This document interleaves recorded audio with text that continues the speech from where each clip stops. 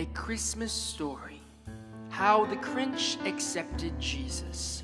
Written and illustrated by Kyle Jorris.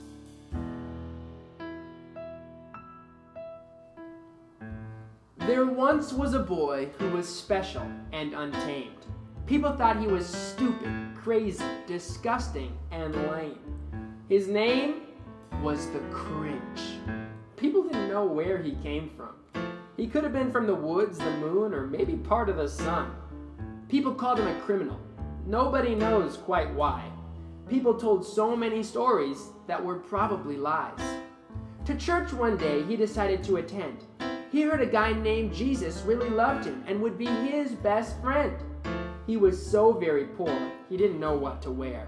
He smelled kind of strange, but he didn't care.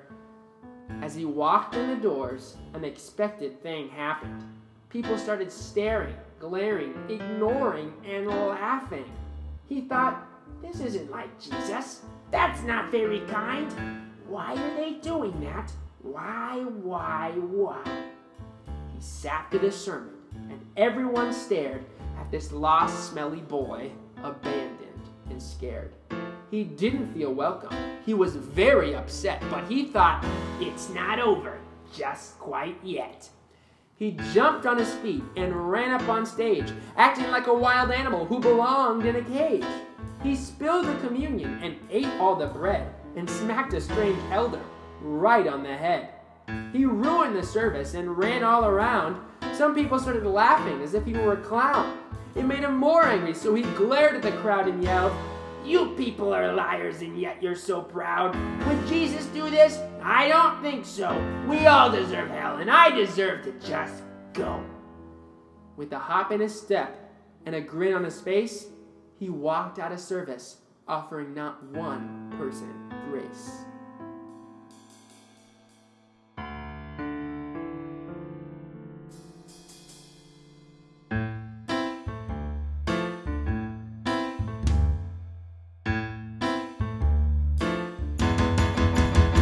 You're a sinner, Mr. Grinch.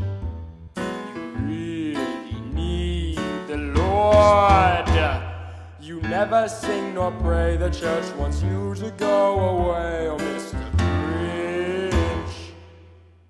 Trying in a city church.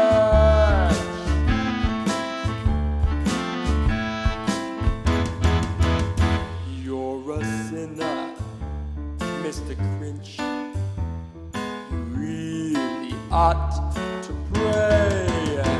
You're an unneeded distraction. You have horrible church fashion, Mr. Grinch. You really need the Lord.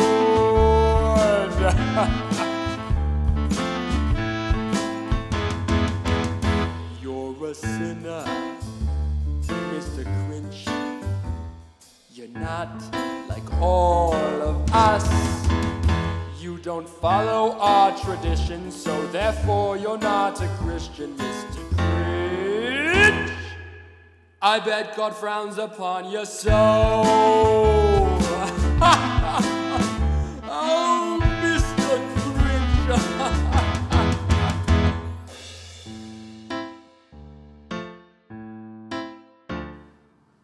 But way back in the crowd, a girl saw him do this. Her name was Mindy Lou Who, and she was very discouraged. She cared a great deal and still had faith like a child. She knew the Grinch could be rescued, no matter how wild. The rest of the church, well, they didn't think so. If he decided to come back, well, I'm guessing they would say no. They said his heart was the size of a mustard seed. They said, if we offered to help him, there'd be nothing he'd need. But Mindy, however, decided to pray. She even went out looking for him almost every day. But the Grinch was hiding and was still very angry and wasn't going to forgive them anytime soon, quite frankly. Several weeks went by and Mindy was still searching. Downtown, uptown, where was he lurking? But then one day, on a dark, snowy night, Mindy did find him, and he was in her sight. But wait, one moment. Was what she was doing safe? If he saw her, would he eat her, attack her, or punch her in the face? All those stories people told, were they indeed true, or was there something about the Grinch that people never knew? So Mindy approached the Grinch and started being very kind. The Grinch thought, She's not like the others, and it's blowing my mind. So the very next day, Mindy went back to tell the whole congregation and said, I've invited the Grinch back that you people make fun of, but Jesus told us to love our neighbors, so let's try to reflect his love. Some people were shocked, as if they were being convicted, but the fact was, everyone had done it, and it was rather wicked. Mindy came through the crowd to give the Grinch some advice. She said, Oh, Mr. Grinch, well, you probably know. Some people are unfriendly and they want you to go. But these people aren't the reason we wake up early on Sunday. It's about God and His Son, no matter what some people say. So let's go into the sanctuary and listen to the pastor, and maybe these people will realize a little faster that God's love for everyone is unstoppable. And He calls us to love those who think that's impossible. The cringe looked confused. Was he going to freak?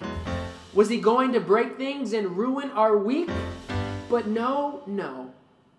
There was a twinkle in his eye, one that looked like a light bulb, and then he let out a sigh. He said, Thank you, Mindy.